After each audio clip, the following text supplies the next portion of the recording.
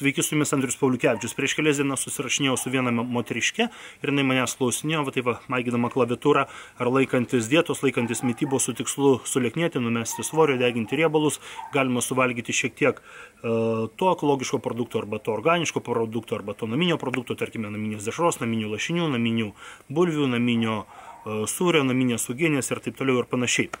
Reikalas yra tas, kad nepaisant to, jog produktai yra organiški arba naminiai ar ekologiški, jie vis tiek turi kalorijų. O riebalų deginimui arba svorio metimui arba apimčių mažinimui reikalingas kalorijų deficitas. Ir jeigu to kalorijų deficito nėra, nepaisant to, kad maistas yra organiškas ir sveikas, tada tas kalorijų deginimas arba svorio matimas arba, arba apimčių mažinimas nėra įmanomas tuo pačiu tai, ką aš pasakiau, tuo pačiu tai nereiškia, kad maisto produktai, kurie yra organiški, naminiai arba ekologiški, kad jie yra nereikalingi arba kad jie yra blogi. Tiesą sakant, jie yra ir reikalingi, ir geri, ir, ir naudingi, ir geresni negu tie produktai, kurie, sakykime, šiaip jau yra parduotuvų lentynose. Kodėl? Dėl to, kad, tarkime, organiški kiaušiniai arba naminiai kiaušiniai, jie savo sudėtyje turi daugiau omega-3 riebiųjų rūgščių. Tada tai yra baltymų ir riebalų santykis greičiausiai bus tas pats, kaloringumas tas pats, bet omega-3 rūgščių bus šiek tiek daugiau tarkime, žuvis, kuri yra laukinė, kuri yra, tarkime, mūsų žerų, mūsų žeruose, upėse, pagauta, bet nelaikyta e, fermose arba jūroje, kažkur vandeninė pagauta, taip pat jinai turės daugiau omega-3 riebiųjų rūgščių, o ta žuvis, kuri buvo užauginta fermoje, turės daugiau omega-6 riebiųjų rūgščių. Omega-3 yra vertingesnis, nes omega-6 perteklius sukelia uždegiminius procesus organizme ir lemia daugelį lygų. Lygiai taip pat, sakykime, Na, šiaip, šiaip produktai, bet kuriuo atveju, kurie yra naminiai, turės, bus, bus vertingesni, ne, greičiausiai turės ir geresnį riebalų profilį, ir turės vitaminų, mineralų, antioksidantų daugiau, ir kai kuriais atvejais jie gali būti uh, riebesni arba kaloringesni. Einame į mano šaldytuvą. Čia man sportiniai rūbai džiūna po treniruotės, kas sportuojate, suprasite.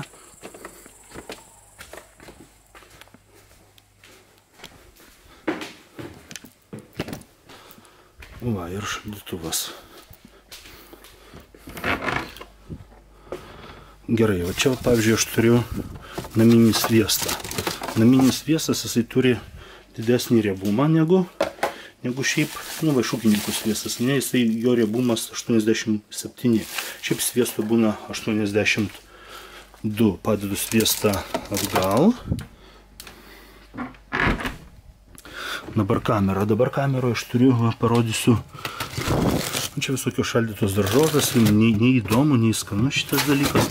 O pavyzdžiui, čia yra paskelbti vat, naminiai cepelinai. Vat, visas maišas naminių cepelinų, kuriuos taip pat gavau dovanų iš ūkininko.